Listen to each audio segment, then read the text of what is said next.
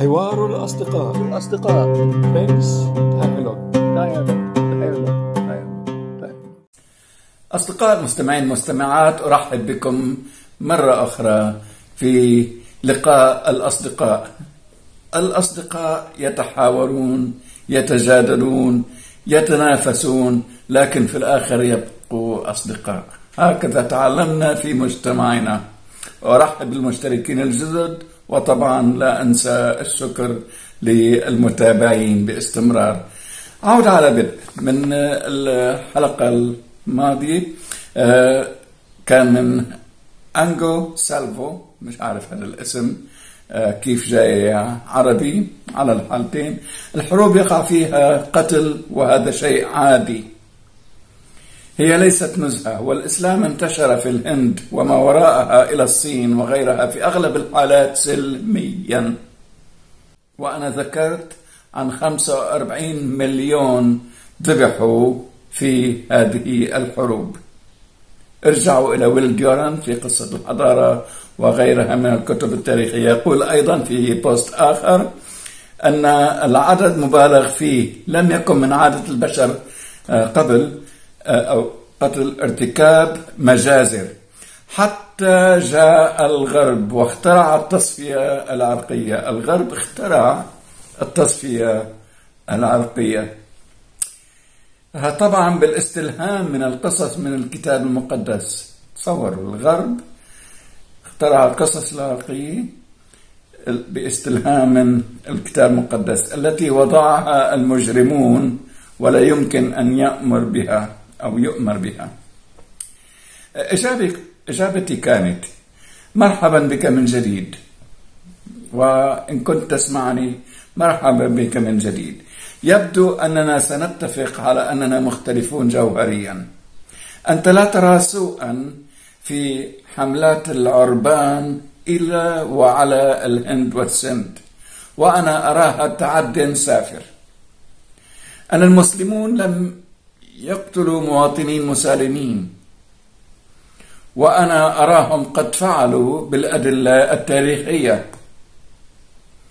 عندي مثال هجمات المسلمين على جدود الأمازيغ في الجزائر. الذين لم يكونوا سبب تهديد لعربان الصحراء سبب ليسوا سبب تهديد لعربان الصحراء.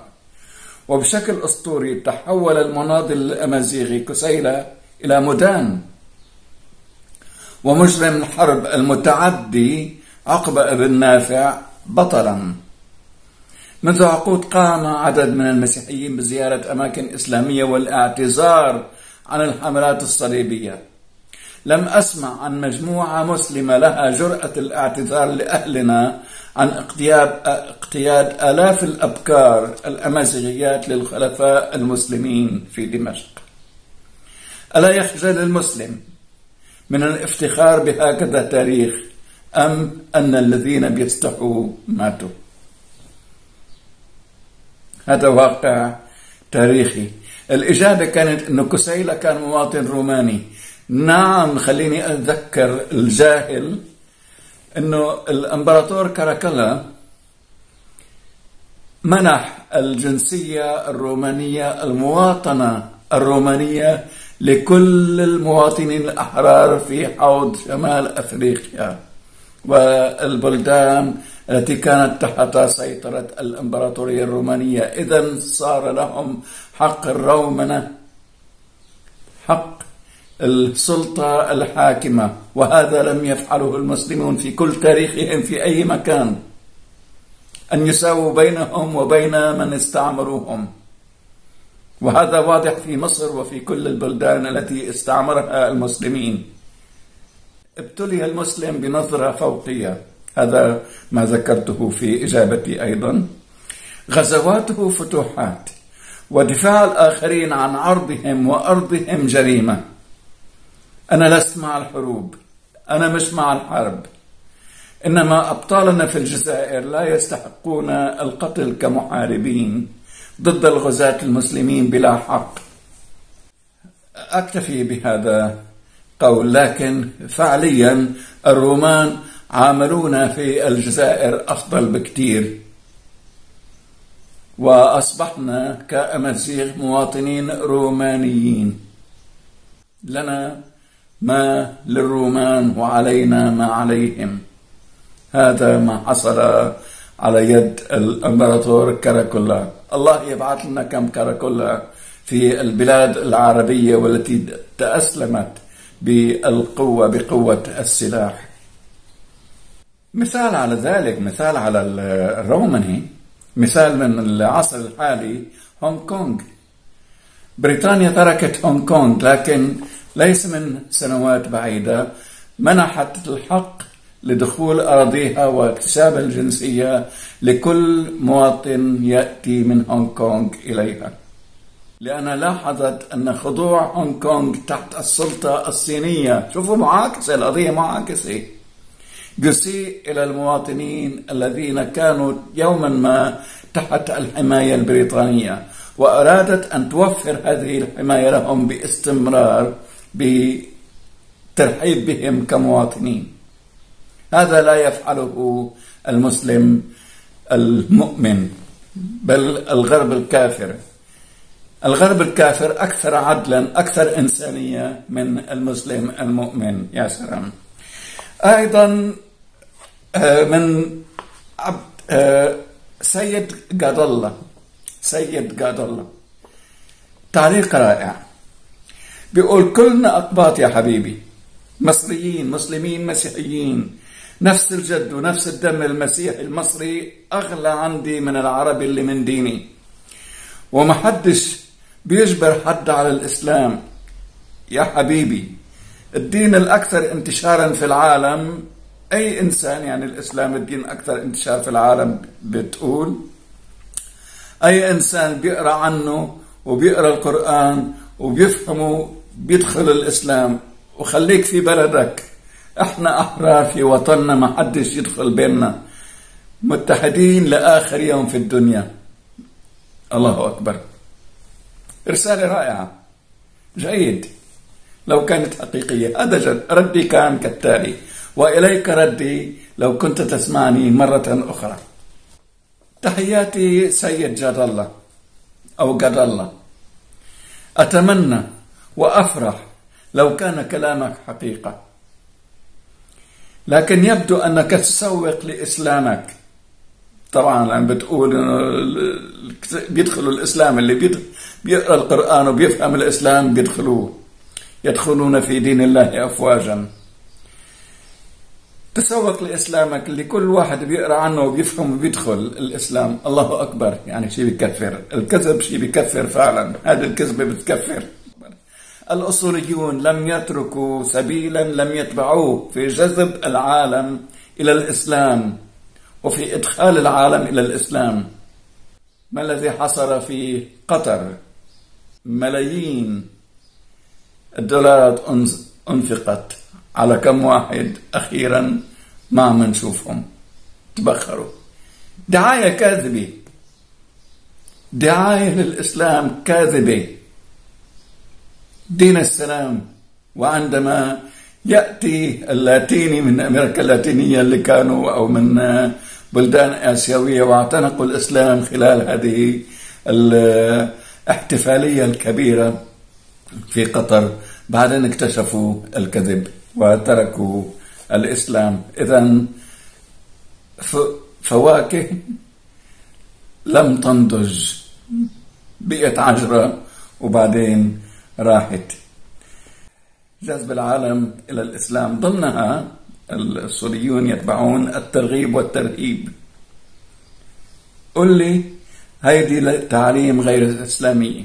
الترغيب والترهيب تعليم إسلامية أو لا؟ عند الكتاب. عند الوثائق. ثم لجهلك يا سيد قضى الله. لا تدري أن عالمنا قرية كونية. يعني بتقول لي خليك في حالك خليك في بلدك.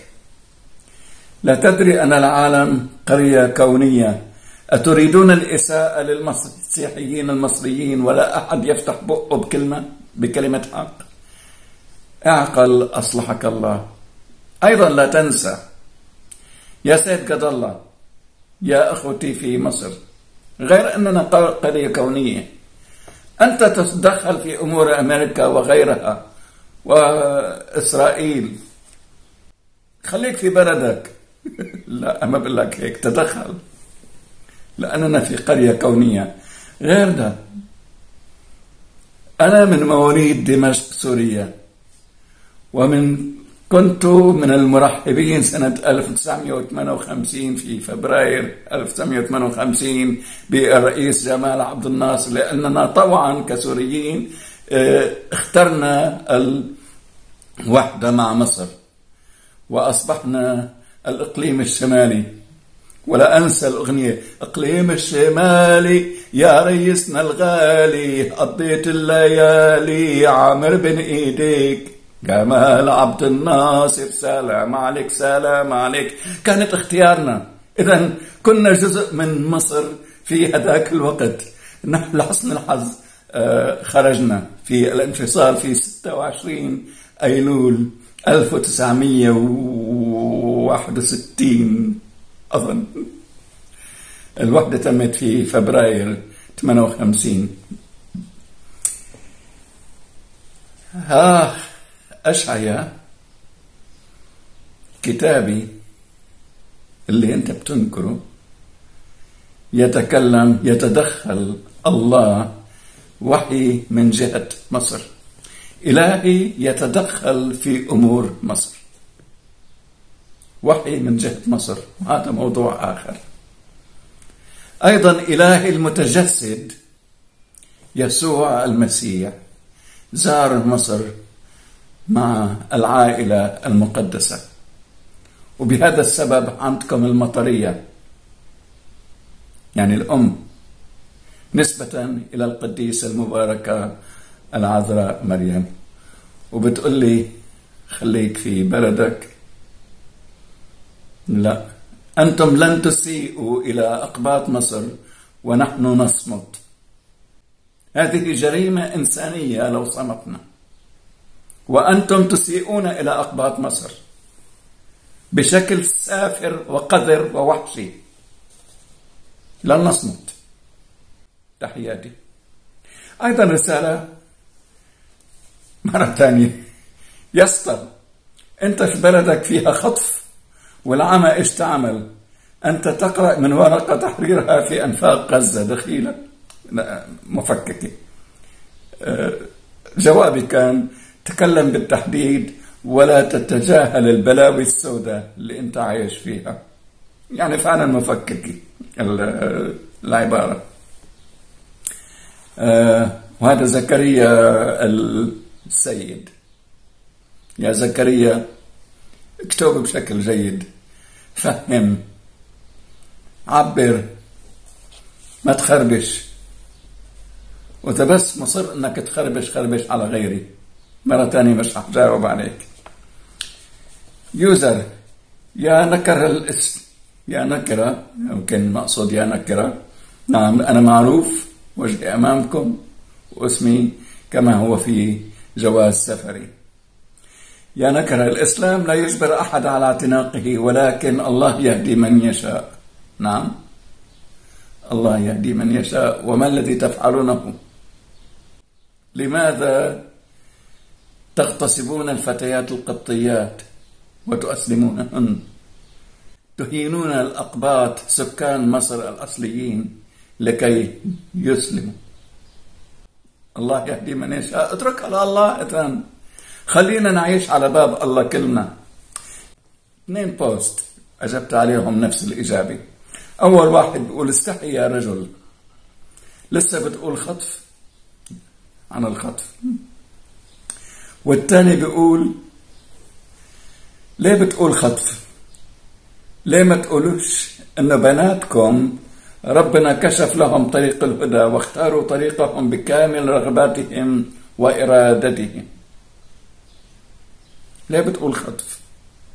بناتكم يعني بناتنا القبطيات وأنا إلي فخر أقول بناتنا ربنا كشف لهم طريق الهدى واختاروا طريقهم. لا هذا كذب وادعاء ومؤامرة كبرى على مسيحيي مصر. إجابتي كانت الخطف ليس له تعبير جميل. الخطف هو خطف. أنتم تعددون تغررون وتحتالون على بناتنا. وتعطيها اسم هداية زورا وبهتانا. ابحث لو كنت إنسان مهتم فعلا مهتم بمعرفة الحقيقة. أرجو أنك تبحث لو كنت إنسان جدي مهتم بمعرفة الحقيقة. أيضا من straight way هذه العبارات. لا دليل ولا توثيق. في أحد يخطف شخص ويرغم على اعتناق دين ليس دينه؟ ثم فوق هذا يغتصبه أولا ثم يحدثه عن سماحة الإسلام. سؤال علامة سؤال وعلامتي تعجب. يا رجل عيب على شاربك. معلش ما عندي شارب. بدك ربي؟ ممكن. ربي شارب يوما ربيته بالزمن. أنت رجل كبير لا يصلح مثل هذه الأرتقة لا تتناسب ولا تتوافق مع أنظمة العصر. الدنيا ليست كما هي في عصور الظلام. اتق الله. شكرا إجابتي لك. وأنت تعرف إن كنت تسمع ستريكوي بعضكم يدافع لمعرفة شناعة الفعل. يعني يعلم ويدافع لمعرفة شناعة الفعل. وتخافون السمعة السيئة للإسلام. جيد. هذا منيح. أنتم عارفين إنه هذه سمعة سيئة. عارفين إنه اغتصابكم للفتيات القبطيات المسيحيات سمعة سيئة وقضية إجرامية. إنسانيا ودوليا. إنما كل الاحتيالات والاغتصاب والإكراه موثقة. أرجوكم اسمعوا لبرنامج الفكر الحر مع سام. اسمعوا إلى الأستاذ مجدي تادروس. اسمعوا إلى الأستاذ مجدي خليل. اذهبوا إلى كوبتك سوليداريتي لتعرفوا عن وثائق اختطاف القبطيات. كلها موثقة. أيضا أنا لست أباك لتخاطبني هكذا. أعقل يا ولد. وبقولها لكل الأولاد الذين يحاولون المراوغة. دون البحث في الحقائق. أنتم أولاد لا تريدون الفهم. في تعصب أعمى لا تستجهلني حتى لو كنت جاهل أنت نفسك. احترم نفسك وتعلم وتهذب. وابحث. عندك طرق كتير للبحث اليوم. لا تكن كمن يطلق الأمور على عواهمها. أظن أتوقف عند هذا الحد. لهذا اليوم ونتابع في حلقة تالية. إلى اللقاء. شكرا لاستماعكم يا من استمعتم وشكرا للذين يدافعون يقفون مع الحق مع بناتنا المسيحيات سواء في مصر أم في باكستان أم في أي مكان آخر في العالم. يعتدي فيه المسلمون على المسيحيات. هل سمعت عن اعتداء؟ حتى لو كانت شائعات في مصر هل سمعت عن اعتداء مسيحي على مسلمة؟ إلا لو كان تلفيق كما حصل في مع ابننا من وقت تقصير اسمعوا مع سام برنامج مع سام. عن تعديات حصلت وتزوير لحقائق أريد أن نبقى أصدقاء. فإلى اللقاء. معكم عم دانيال.